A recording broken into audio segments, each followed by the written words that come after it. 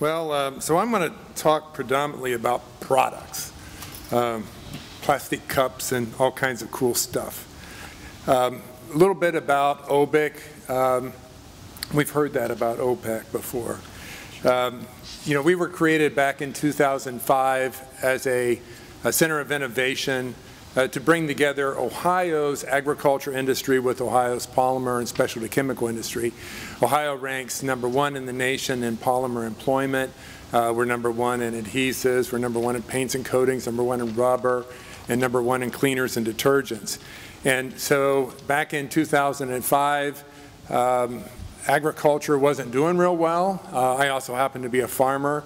And uh, I can tell you that I was trying to sell corn for like maybe $1.50 a bushel and soybeans for, you know, hopefully $5 a bushel. And, and the markets have changed a lot since then, uh, thanks to a robust bioeconomy and a lot of biofuels and uh, strong international sales. But, um, um, uh, but this center was uh, to help the polymer industry innovate and identify new sources of sales for our agricultural community. Um, and so our center was created really to expedite bioproduct commercialization. Now when most people think about centers at a university, they tend to think about research. And our center is more about commercialization. And I'll get into a little bit more later on in terms of how we go about that. But you identifying research and scholars that can help solve problems but we tend to look at what can be done to expedite bioproduct commercialization. A lot of great stuff. I mean, at this conference, Jim, great stories of lots of really good stuff happening. If there's something that we can do to kind of help and make it happen a little faster, that's, our, that's where we look. Okay, so I've got four policy points that I'm going to talk about. And the first one is that bioproducts represent an important economic development opportunity especially for rural America. And part of the reason for that is that we've got lots of biomass. And, and there's, a, there's, a, there's, a, there's market opportunities. But, but not only do we have biomass, but we have all of these industrial collaborators. We have all these parts in a supply chain. And so uh, there are multiple benefits. You, we take a dollar and we turn it over and over again. And so it's an excellent opportunity for, to, for us to grow our economy. The other thing is, well, I'm, I'm going to jump into our kind of three big pillars in the bioeconomy, feedstocks, technologies, and markets. And I'm going to lean heavily on materials relative to my comments and uh, look forward to your conference coming up on feedstocks. And uh, uh, we spend a lot of time exploring and assessing various technologies. But for today and for these comments, I'm going to focus predominantly on markets. Okay, so markets, we have a very important program at the U.S. Department of Agriculture called the BioPreferred Program. Uh, Kate, would you please uh, put up your hand? Kate Lewis run, is involved with that program, and uh, she helps get companies labeled. Look at the number of companies and the number of products that have taken advantage of this opportunity. It's a, it's a really big deal. And uh, so hopefully we can get uh, uh, these kinds of products to, to be pulled through the market. Now, relative to economic development, I also want to show you a little video here. See if this will pull up real quick. Um, from Europe, the, the uh, Bio-Based Industry Consortium, and, and some of the things that are happening uh, in Europe. There's a little 100 second video that I think's uh, does a nice job. Here we go. Industries joint undertaking is about in 100 seconds. The BBI is a new public-private partnership between the EU and the Bio-Based Industries Consortium. Together, they will invest a total of 3.7 billion euros in research and innovation between 2014 and 2024. 975 million comes from the EU, and BIC members will invest 2.7 billion to bring bio-based products and materials to market. Why are we doing this? Because we have unexploited potential in our backyard that can play to our strengths, revitalise our most valuable sectors, and enable them to compete in the global bioeconomy race. And because we can achieve true sustainable growth. The vision and concept is simple. Move away from a fossil-based society that is dependent on foreign imports and contribute to deploying the circular economy. This means efficiently using our renewable resources and maximizing the potential of waste, agriculture and forestry residues to make everyday products such as food, feed, chemicals, materials, fuels and energy through state-of-the-art biorefineries. How are we going to do this? By creating new and novel partnerships, eventually forming one coherent and competitive bio-based community, and by focusing on five bio-based industrial value chains. What's in it for Europe? We can reap the benefits of a global bio-based market estimated at 200 billion euros in 2020. We will create tens of thousands of jobs, 80% of which will be in rural areas. We will reduce our dependence on imports with goods and products sourced locally and all made in Europe. And we will reduce our carbon footprint by at least 50% in comparison to fossil alternatives. And we're only getting started. Want to learn more or be part of it? Join us. Okay, thank you. Uh, so if you could, yep, great. Um, we don't want to let them have all the fun, do we? You know, so uh, there's, there's economic development potential and we want to capture it here in the United States as well. Okay, policy point number two. A consortium effort is needed to pull, to increase market pull.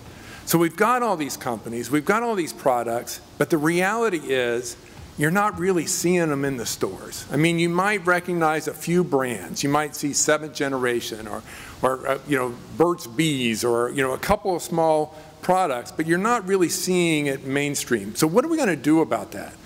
So um, I'm going to give you a little bit of update on some market research that OBIC has funded for the last two years.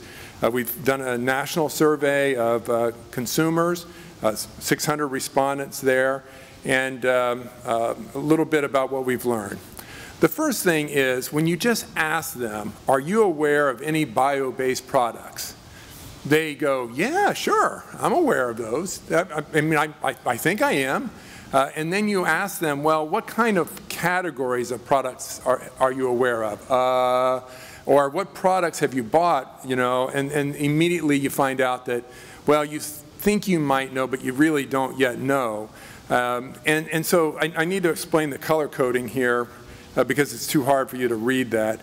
Uh, blue is our national data, and the darker blue is from 2014, and then the lighter blue is from 2013. So you can see that we've got uh, two years worth of data. And you can see that uh, there's more awareness uh, but again, it's not very deep in terms of, of knowledge. The red is uh, 200 respondents from Ohio, both uh, this past year and, and the previous year. Um, and so we asked them, um, have you purchased any bio-based products? And yeah, I'm sure I have. Uh, but when you ask them, well, what have you bought, uh, the, the, the, you know, it falls apart. So the, the reality is that there is a sense that I'm pretty sure I've done this. I think this sounds like a pretty good idea. I should have done it, but, but when you really uh, probe deeper, you find uh, very little. Then we give them a definition of what a bioproduct is, and after we've given them the definition, we say, so what are the benefits of uh, bio-based products? And the number one answer is better for the environment. So the, the number, well, the number two answer is I don't know, but, uh, but you get a sense here of the, the respondents indicated their top three uh, um, responses, and so nearly half of all of the respondents uh, claimed that it was better for the environment, and then 47% claimed that they didn't know. Um, bio-based products, do bio-based products make a difference? Um, just a simple yes, no question. But you know, the majority of people think that by buying bio-based products, they are making a difference. And so uh, we need to help them with that. And then uh, we ask them to rank like the top uh, uh three uh, bio-based uh, benefits of buying bio-based products. And again, environmental sustainability is the number one reason. Um, what kinds of products would you have interest in buying? Things that come in contact with your skin, personal care, laundry products, uh, are, tend to be the top items. Things that are more expensive, like the idea of carpeting, bio-based carpeting, uh, less so, but, uh, but interested in those things. But, you know, um, again, an, um, a, a, good majority of uh, consumers would like to buy household cleaners that are bio-based. Uh, and then we ask, after having given them this, the definition, having asked them about uh, their knowledge of bio-based products, that tiny little bit of engagement that we did with them through this survey, we ask them, would you be willing to pay more for uh, bio-based products? And again, you know, uh, well over two-thirds of the respondents said they'd be willing to pay at least 5% more, and you know, almost 40% would be willing to pay 10% more. Now, you know, I don't give that a lot of credence, you know, but I'm still, we, still are looking at the fact that we, we had this very simple engagement with them in this study, and they're saying, you know, this makes sense to me. I would like to be involved in this, and this is how I could be involved. Uh, I'm not going to go through the, this uh, wordy slide. I put it in there. It's in the deck so that when you get the slides, you can understand some of my, our observations. Okay, one of the things that we're doing at OBIC and, and in Ohio is we have what we call the OBIC Sustainable World Tour. We have this uh, beautiful van that was donated to us by a Ford dealer. Uh, we take it around to, to different uh, uh, events. Uh, in the lower right is a county or the Ohio State Fair. The above is at a Dayton Dragons baseball game. Uh, lower left, uh, hello Todd Campbell. it was uh, it was in Washington D.C. and uh, when we were visiting one time. So, um, but we take these products, and again, Kate's been very helpful in in helping us get 10 of these USDA bio-based products that we can get in front of people and introduce them to the concept and, and, and answer questions and excite them about the possibilities associated with bio-based. And then uh, uh, Jim's indicated our showcase. This was uh, Secretary Vilsack uh, speaking at our show. And really uh, uh, trying to provide a, a, a, an event that could allow people to see these products and, and really try to get some more enthusiasm and market pull for these kinds of products. Policy point number three. Uh, bioproduct commercialization is not something that you do alone. We talked about the economic development component, the supply chain, and that's something that OBIC has worked hard on is what we would refer to as cluster development. And so realizing that there is a public-private collaboration opportunity here and, and to think about what can, what can we do by bringing together public stakeholders, private interest groups to drive commercialization and to lessen risk and improve probability of success. And so some of our prior experiences, again, I mentioned we got a grant from the state of Ohio, so we've been kind of doing this since 2005, um, bringing together these different collaborators, identifying a technology that has opportunities, connecting them with downstream users, upstream providers of feedstock, and really beginning to build together these uh, robust clusters. And then, um, um, and so, you know, ultimately here we have mature supply chains that uh, provide jobs, provide uh, economic value for the biomass producer, provide new markets for the polymer companies and the product developers, et cetera. Policy idea number four, uh, waste-based uh, represents a new approach for commercialization of bioproducts. If you remember earlier, I had a slide up there I called cell to cell, C-E-L-L to S-E-L-L, and uh, being CEL a biological term to a market. Well here, now we're flipping that around and thinking post-consumer as a source of material or market incentives. Uh, thinking about anaerobic digestion as an enabling technology. Um, really excited about you know, there's, there are lots of products out there in the, uh, uh, the bio-based area. In fact, within the USDA BioPreferred program, there are 300 companies that are producing either food packaging or food service items, and they produce 1,709 different products. This happens to be Eco's Cup, and uh, uh, that's uh, biodegradable, in this case compostable, but in many cases also anaerobic digestion. What can we do to add value so that these kinds of materials can more fully realize the, their value proposition? Like this thing says on here that it is uh, compostable in commercial facilities only. uh, which may not exist in your area. So let's get those things in our area. Anaerobic digestion is an interesting opportunity.